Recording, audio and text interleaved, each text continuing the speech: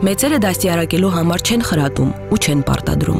Նրանք պարզապես օրինակ են ծառայում իրենց ապրած կյանքով ու գործով։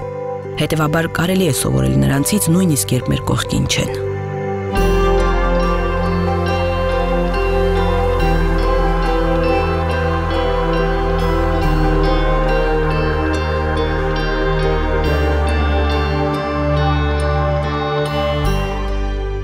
Ստեփան Պողոսյանի գրքերից մեկը կոչվում էր ինձ բախ տվեք։ Շատ լավ վերնագիր է եւ շատ ինքնաբնութագրական։ Որովհետեւ իր տեսակով Ստեփան Պողոսյանը այգեպան էր։ Այդպիսի մորթիկ կարողանում են ստեղծել մի տարածություն, որտեղ աճում եւ դրսևորվում են ամենատարբեր տաղանդներ եւ որպես քաղաքական գործիչ, եւ որպես պետական գործիչ խիզախ մարդ էր։ Այդ որն է հայ աշխարհը, որն է հայոց աշխարհը։ Եվ այս ձևավորման մեջ սարսափելի կարևոր դեր խաղաց Ստեփան Պողոսյանը։ Շատ բինդ մարդ էր եւ ինչ որ դուրը չէր գալիս, անպայման բարձրաձայն, ոնց որ պետք նա դրա մասին խոսում էր, տեղն էր դնում ինչ որ մարդկանց։ Եթե մեկը մեկի անունից այս ինչ-որ վատ դժգոհություններ առաջացնում, ինչ-որ բաներ ասում քերուականջին, լուր լսում էր, ոչինչ չէր պատասխանում։ Բայց որ մի գեղեցիկ օր, երբ որ այդ բամբասող եւ բամբասվողը ներկա էին լինում, ասում էր լսի, այդ ինչ էր ասում իր մասին, իմը ասա, այդ տենանք ճիշտ ես ասում, թե չէ։ Ու բոլորը արդեն զգուշավոր էին, մտածում են ասեն, թե չասեն կամ ասելուց այնպես ասեն, որ հետո կարողանան պատասխան տալ իրենց ասածի համար։ Ես չեմ հիշում մի որևէ դեպք, երբ որ Ստեփան Կարպիչը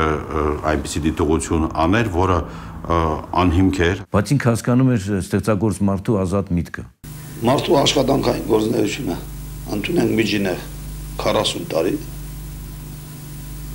40 տարուց իմ աշխատանքային գործունեության 18 տարին անցկացել հերոստատեսություն ու ռադիո։ Ըստ որում կյանքիս եւ աշխատանքիս ամենա հետաքրքիր շրջանը եւ ոչ շատ ջահել եւ ոչ շատ ծեր։ Այդ նոր ստուդիան ենք ուզում շահագործման հասնել, բան որականում շերիկ չէր անում, չէր բողարանում։ Իսկ պետք էր երեք սմենա աշխատել, երեք կերտաբող աշխատել։ Եվ գիշերները մենք ենք գնում, աշխատում ենք գիշերը։ Նասել գա ենք, հող ենք տեղափոխում, բան ենք անում դե մարտ ապրել ամիսներն էր գիշերը ցուրտ էր որ առավոտյան արևը կպնում էր դուրս էին գալիս արևը տականալու այդ ժամանակ դուր հերոստատեսյան աշխատողներ աշխատանքի էին գալիս ես նստած էի քարին տականում էի հետո մեկ էլ հերոստատեսյանում թե նախական նստել նայում թե ով ժամանակին աշխատանքի գալիս ես նստել էի ընդամենը տականալու 1970-ական թվականներին հերոստատեսության ղեկավար դարձավ Ստեփան Պողոսյանը։ Արտասովոր, ժամանակի կարծրացած հայացքները մերժող մի մարդ, ով ի վերուս տրված շնորհով գիտեր, թե ինչ է հարկավոր հերոստատեսությանը լիարժեք ազգային դառնալու համար։ Իր աշխատանքի առաջին իսկ օրերից առաջի գործը որ արեց, տեխնիկապես վերազինեց հերոստատեսությունը։ Կենտրոնական հերոստատեսությունը ինչ տեխնիկա ստանում էր, առաջի հանրապետությունը մենք էինք նրանցից հետո, որ լավագույն տեխնիկան մեզ մոտ էր գալիս։ Շնորհիվ իրեն իհարկե, իր աշխատանքի, իր ջանասիրության։ Նրան հաջողվեց արտասահմանից ձեռք բերել Մարկոնի Մակնիշի գունավոր շարժական կայան։ Եվ Հայաստանը հնարավորություն ուներ արդեն իր հաղորդումները հերարցակեր այդ շարժական կայանի միջոցով գունավոր պատկերով։ Աշտարակը որ կա, այդ իր նախաձեռնություններ, որ Հայաստանը միանգամից բոլոր հանրապետություններից կողքին առաջ ընկա, որտեղ այդ աշտարակը ինքը ժամանակին դիմեց Լապինին եւ ամենաառաջինը Հայաստանում դրեցին այդ աշտարակը, որը հնարավորություն տվեց Հայաստանում ունենա մի քանի կանալներ։ Այդ տարիներին մեր ռադիո եւ հեռուստա եթերը դարձան իրոք շատ հայկական եւ իրոք ստեղծեցին մի մտնոլորտ, սկսած հայոց լեզվի մտնոլորտից, վերջացրած այն երկերով, երաժշտությամբ, այն համերգներով եւ այն այն հերուստա ու ռադիո թատրոնով։ Անջամա, ասանգորով դու ինչու չես աշխատիր։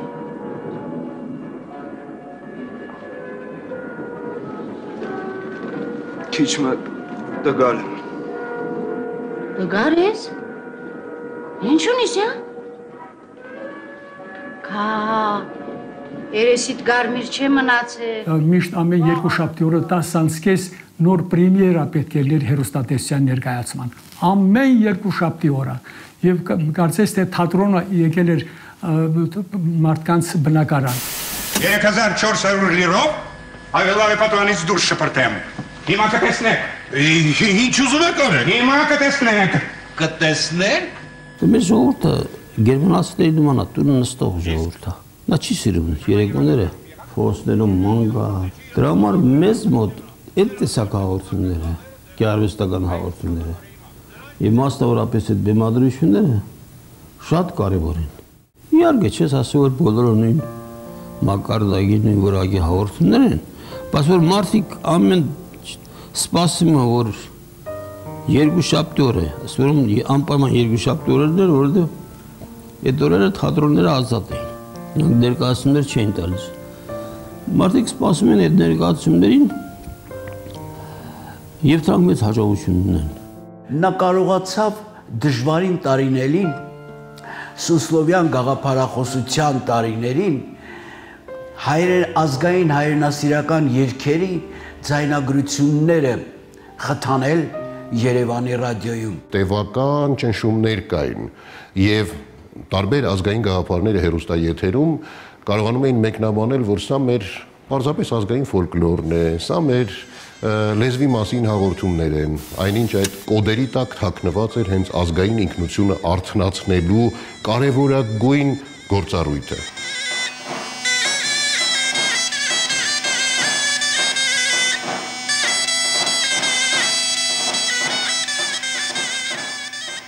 Որոշեցին ձայնագրեն կոմիտասի պատարակը։ Պետական կոմիտեյում ձայնագրել երեկրկսական երաժշտություն դա բավական բարդ բան էր։ Հանդիպում եղավ Դեմիրճյանի հետ։ Աչքերի մեջ փայլով ասում էր. «Ես եկեղեցական երաժշտություն եք, հարթ են ձայնագրում»։ Որտեղ Ստեփան Կարպիչը պատասխանեց, ասեց. «Ինչ կապ ունի ինչ եկեղեցական երաժշտություն, թե ինչա կոմիտասի չզայնագրված ստեղծագործություններն ենք մենք հիմա զայնագրում։ Դրանից լավ բան։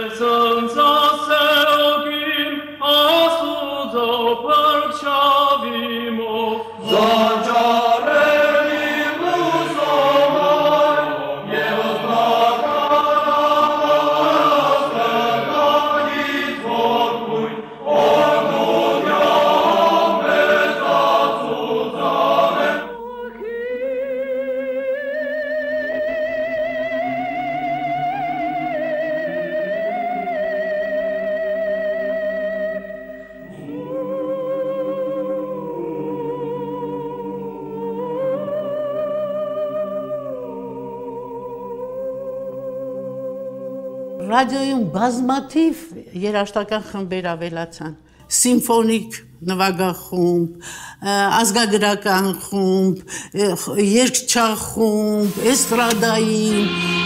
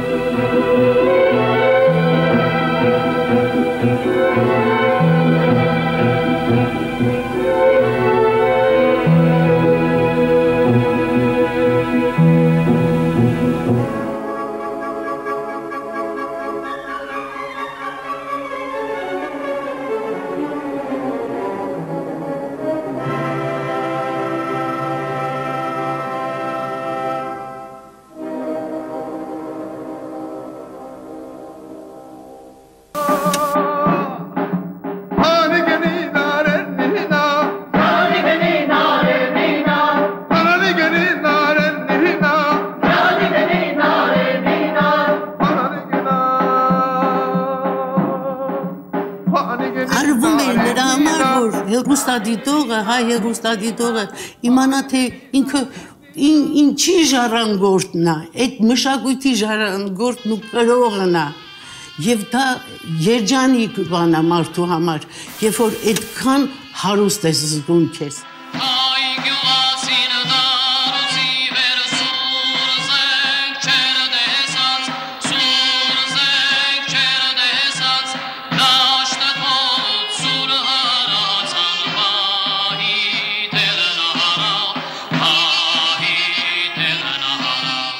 Նա ասում էր պետականը կամ պետականությունը կայև գոյություն ունի, բայց հերոստատեսությունը պետք է պետական լինելով հանդերձ լինի ազգային։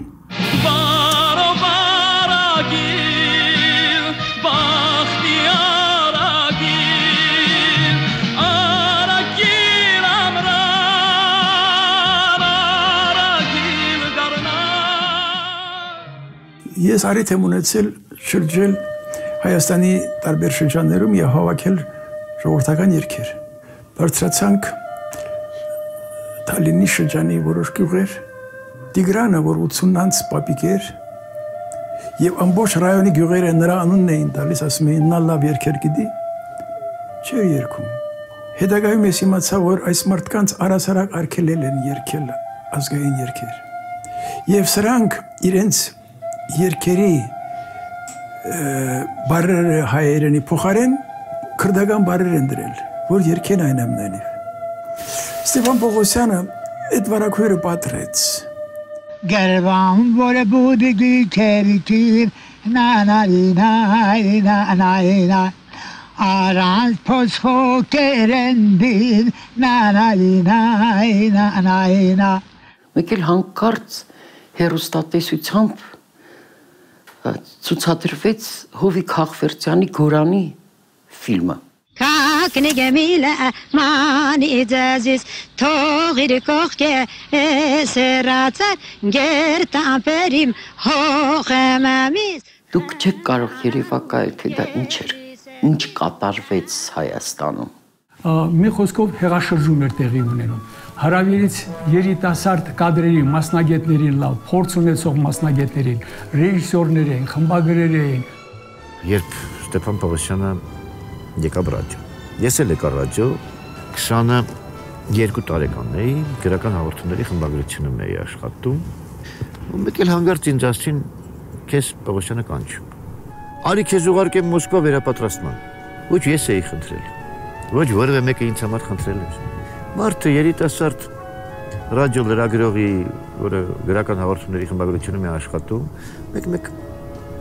լսել է։ Եվ մտածել ուղարկեմ թող սովորի։ Ես վստահ եմ, որ նա այդպես էր ապրում, շուրջը նայում, նկատում եւ փորձում օգնել, սատարել, ճանապարհ բացել։ Մենք օրինակ այդ նոր տարին որ անում էինք, մեր վրա բավականին բողոքներ էին գնում, որտեղ էս ինչա կատարում դեն ամենամեծ պավիլյոնում էինք անում փղեր են բերել, զապաշտուն են բերել, առույցներ են ման գալի, օպերատորները չեն կարող աշխատեն։ Ինքը ապալ-թափալ ոնց որ ասում եկավ ասավ։ Սենց նայեց փղերին, հետո այդ առույցներին։ Վերջից ասեց, «Այ տղա, ի՞նչ չկանում»։ Ես բացատրեցի սցենարը, նայեց ասեց, «Հո, լավ է»։ Դե լավ, ու գնաց։ Շուր տվեցինք հերոստատեսություն առաջ։ Բառացոր է շուր տվեցինք։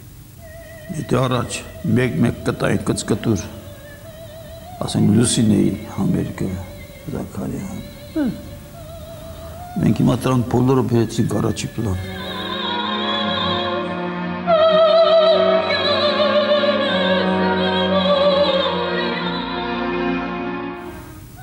Եվ լսրեցինք եթերը ազգային երկերով, էթնոգրաֆիկ երկերով, ֆիդայական երկերով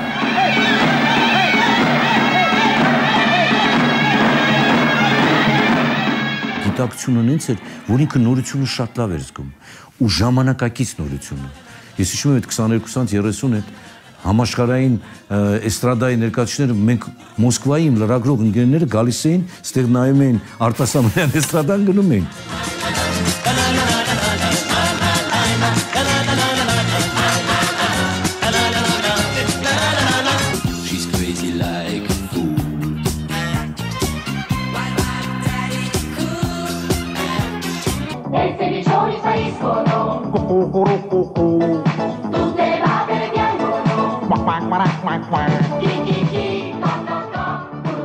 Բարձական աշխատող էր, բայց մեր մշակույթը եւ անցյալի եւ ժամանակակից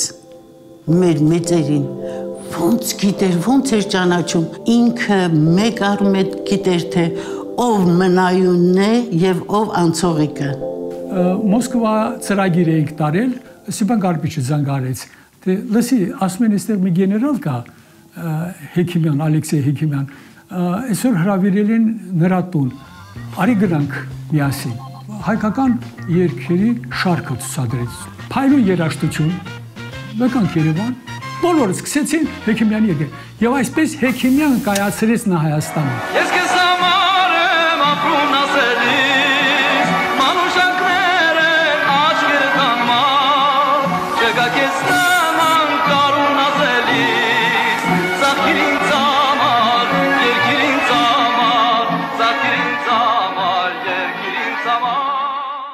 Ինքը օրինակ իմ համար բացեց Համոս Սահյանին։ Ես հիմա եմ հասկանում, որ Համոս Սահյանը ամենամեծ պոետներից մեկն է։ Ինքը իմ համար բացեց։ Ինքը իմ համար բացեց Փելեշյանին։ Այդ տղա դու բան չես հասկանում, դու սրանով սովորի կինոն։ Փելեշյանի ֆիլմերը։ Դրանք նկարահանվել են Երևան ստուդիայում։ Իր ժամանակի կինոպատկերացումներից եւ կինոստանդարտներից առաջ անցած արվեստ է։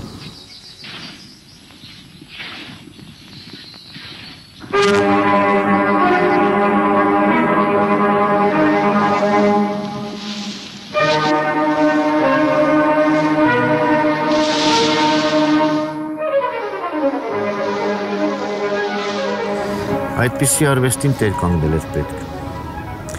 Այդպիսի ռեժիսորին տեր կանգնել էր պետք։ Եվ ըստ էության Երևան ստուդիան հենց Ստեփան Պողոսյանի ղեկավարության օրոք դարձավ այն օջախը, որտեղ ստեղծվեց այդ կինոն, որը մինչև այսօր ապրում է եւ ոչ միայն ինքն է ապրում, այլև ապրեցնում։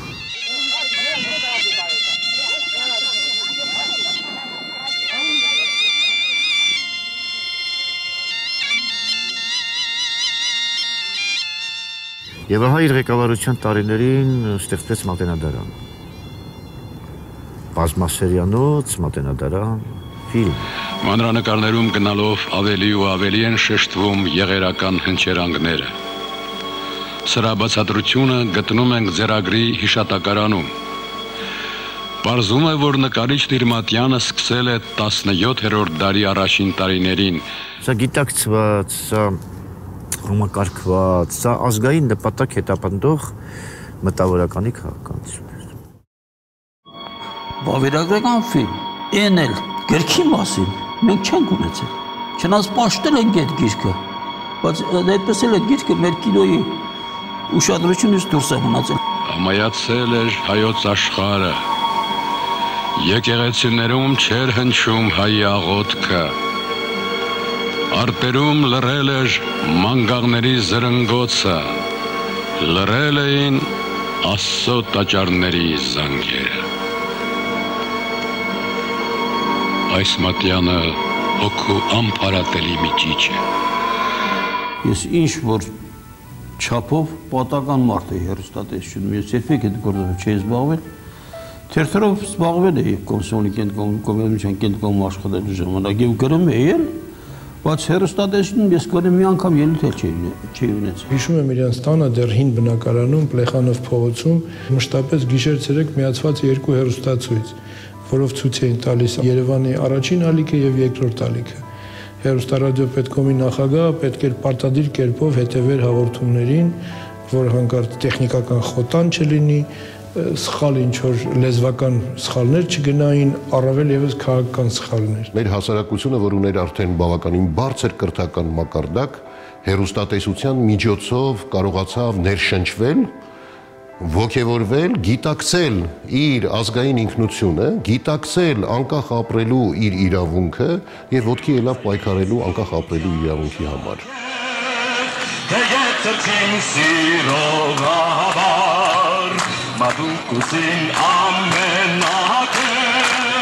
Էվոշանեն կապուկը Այդ ժամանակ, երբ որ հազարավոր մարդիկ մեր փողոցներում պահանջում էին խնդրի լուծում, այսինքն Ղարաբաղի միացում Հայաստանին կամ քաղաքական լուծում, շատ կրիզիսային ժամանակ էր եւ այդ ժամանակ Մոսկվան այստեղ էր ուղարկել իր եմիսարներին Կետկովի քարտուղարներից Դալգիխը եւ Լուկյանովը։ Դեմիրճյանը բացեց այդ ժողովը, ելույթներ ունեցան տարբեր բնույթի, ձգտել նրան, որ լինի խաղաղ, հարցի լուծում, բարեկամական ժողովուրդների եւ այլն այսպիսի մոտիվներով մասնակիցները դժվար են այդպիսի գործընթացից, բայց նրանց մեջ չկա մեկը, որ նա ասի այդ մասին։ Ստեփան Պողոսյանը իր տեղից դուրս եկավ, քայլով շարժվեց դեպի ամբիոն։ Դիմեց նա Մոսկվայից եկած ղեկավարներին եւ ասեց. Ես ձեզնից պահանջում եմ, որ դուք պատասխան տաք այն ժողովրդին, ոչ թե աստեղ նստածներին։ Մոսկվայի ռազմական հերոստատեսությունը գնացել էր Ղարաբաղում նկարահանումներ էր արել։ Ես Սախինով եկա մոտս, ասեցի գեր պոզան։ Ես տեսակ ժապավաններ կան, գնացել նայել եմ, գիտեք ինչ ժապավաններ, բանագին եմ։ Ասես որ վերստենք ետեր տան ինչ կլինի։ Տվեցին եւ իսկապես պայթուն առաջացավ։ Մոսկվայից մի ամբողջ գեներալիտետ եկավ Հայաստան։ Եկել են ուսումնասիրեն, հա։ Եկալ ինձ մոտ ասում, ի՞նչ եք ի՞նչ եք ուսումնասիրում։ Ես եմ ասել տվել են։ Ուզում եք բռնեք, ինձ բռնեք։ Եկավ մեկը դրանց զամզավ էր, ինչ էր, ցեկակապեսի։ Եկավ ասես երկար աշխատեցիք, չի լինի որ դուք ստեղից գնաք, ասա ես 100 անգամ ասել եմ, ժամանակն է ստեղից գնալ։ Տան արմեն պրես։ Որքան ջինջ, པարս ու շիտակ հոգի է պետք սեփական կյանքը նախնյաց կորուստի հիշողությամբ արժևորելու համար։ Ստեփան Պողոսյանը գտել էր ժողովրդին հայկական մշակույթի վերադարձման ճանապարհը, որն էլ դարձավ մի ամբողջ սերնդի հայրենագիտակցության ինքնաճանաչման բանալի։ Ձեզ ասեմ, կյանքը դժվար կյանք է եղել դժբախտ կյանք է, որտեվ ես երկրորդ կուրսում էր մերս մահացավ։ Համալսարանը չի ավարտել, հերս մահացավ։ Մորս տարիքին 43 տարեկան կինս մահացավ։ Շատ լավ ընկեր էր եւ շատ ընկերներ ուներ, ընդ որում տարբեր տարիքային այսպես հատվածներից, բայց կյանքի ընթացքում նա իր բոլոր ընկերներին կորցրեց բոլորը շատ վաղ շրջանում մահացան եւ դա իր անձնական այն ողբերգությունն էր, նա ըստ էության նաեւ շատ միայնակ մարդ էր։ Փոքր է եղել դպրոց պիտի գնա։ Մայրը տան եղած ինչ որ ապրանքը երեխայի հետ գնում են լեննական վաճառելու որպեսի այդ ապրանքի վաճառքից գոյացած գումարով երեխային կոշիկ առնի վաճառում են ապրանքը, կոշիկները գնում են ու էլի սայլը նստած, ուշ արդեն լեննականից գալիս են գյուղ։ Ու ճանապարհին երեխան քնած ա եղել եւ քնի մեջ չի նկատել թե ոնց այդ մի կոշիկը ճանապարհին կորել է։ Հակից ընկել ու կորել է։ Շատ ահա որ մի պատմություն ես երեխայի կյանքում դա ինքն է պատմել Մերոնք եղել են Սասունի խուլպ գյուղից, խուլպ։ Անդոկասարի հարավային կողմը։ Ես աշխարհում շատ տեղեր եմ եղել, բայց ավելի գեղեցիկ սար չեմ տեսել։ Իմիջիայլոց ես իմ պապի հետ շատ լավ եմ եղել։ Ամենաշատ իրար սիրում ենք ես ու ինքը։ Հիմա պապս ասում է, գիտես ինչ եղավ։ Ապշելու ման էլի։ Ասում է իրգունը դրանը նստած եմ։ Եկել մեր հարևանի տղեն եկավ ասում է ասեց Պողոս ասեց Հուսեյն աղան քեզ կանչում է ասեց Պողոս այսօր լուսադամին դեր բոլորին սպանել են փրկությունը մեկն է որ քունդանիկին ես հաստեմ մուշ ռուսական բանակը մուշում է նրանց հետ կաստեք կնակ ասում ասի Հուսեյն աղա մեր քյուղը ընդամենը 8 տուն է բոլորն իմ բազգականներ, բարեկամներին ես նրանց ոնց թողնեմ, իմ դան հեկտար եմ գնում։ Համաձայնվեց նրանց էլ վերցնել։ Ասում է, որ մենք միջև մուշ էինք հասնում, անդադ ծառերի, թփերի տակից մարդիկ էին դուրս գալիս։ Միջև մուշ հասան 200 հոգի մարդ, դարավետ։ Բայց որ հասան մուշ, բարձրապես ռուսները նահանջել են։ Բայց ինչ մարդ է այդ մարդը էլի։ Ասել եմ մեգա ես ես փրկել եմ։ Ու սրանց քշում առաջ։ Գնում հասնում Մանասկերտ։ Մանասկերտում ռուսներն Մանասկերտում են լինում, հանձնում են ռուսներին հետա գալիս։ Այդպես փրկվեցինք։ Իրա ձևավորման հարցում պապն է եղել հիմնական անձը, այսինքն իրանց Գերդաստանի մեծը, որը այդ արավիրքից փրկեց իր ընտանիքի ինչ որ մի մասը, բերեց հասցրեց Արագացի գագաթ, այնտեղ սկսեցին ապրել։ Եկավ հորաքրոջս տղեն թե ասում պապը վատ ասեց, ասում մերնում է։ Էլան մի կերպ գնացին գյուղ հասանք, տեսնեմ մեր բակում աղաքին մարդ հավաք։ Ասի ինչ ես է, բարգել ես կան մարդ հավաքել գլխիդ։ Ասեց նամար դեղնես թե մտածես քու երգիրս է։ Իր երգիրն է։ Ու բերով սկզբում պապը անդադ երկրի մասներ խոսում։ Հետո գնալով սես քիչ խոսել երկրի մասին։ Մի օր հարցի պապ։ Էլ երկրի մասին չես խոսում ինչ եղել։ Այն դիմացը ճյուղի գերեզմանատունն էր։ Սա շուռ եկավ այնտեղ, ենկո խեղճացավ։ Ասաց բսրանց ումը թողեմ։ Ստեղ արդեն գերեզմանն էր, բաբը։ Տարիներ անց, երկար նախատրամադրվելուց, ինքն իրեն պատրաստելուց հետո Ստեփան Պողոսյանը գնում է երկիր, հայրենի խուլբ գավառը պապիտունը գտնելու մեծ փափագով։ Նաև փնտրում էր Հուսեին աղայի շարավիղներին երախտիկի խոսք ասելու համար։ Բազմաթիվ այցելություններից հետո անգամ Պողոս պապիտունը չի գտնում այդ ճանապարհով շատ հայեր են գնում, այսինքն բոլորը գնում են իրենց papերի տները փնտրելու։ Իր ազգանունը ինքը փոխեց եւ դարձրեց Պողոս Պապու անունով եւ այդ պապի падգամներն էին, որ իրեն իրեն ըստ էության ուղղորդեցին ամբողջ կյանքի ընթացքում։ 5 տասնյակից ավել պատմական ուսումնասիրությունների ժողովածուներ, հոդվածներ, որոնք տպագրում էր առանց հավակնելու գիտական որևէ աստիճանի կամ պատմաբանների հավանության։ Դա ներքին մղում էր, յուրատեսակ փորձ կանխելու հետագա արհավիրքները, քանի որ իր ուսումնասիրություններում տալիս էր ցեղասպանության պատճառների նկարագիրը։ Միգուցե այս ակտիվ պետական, քաղաքական, կուսակցական գործունեությունը մեզ զրկեց Ստեփան Պողոսյան գիտնականից եւ նրա ավելի քան 35 գրքերը ցեղասպանության, արևմտյան Հայաստանի, իր ուրեմն հայրենի եզերքի, Սասունի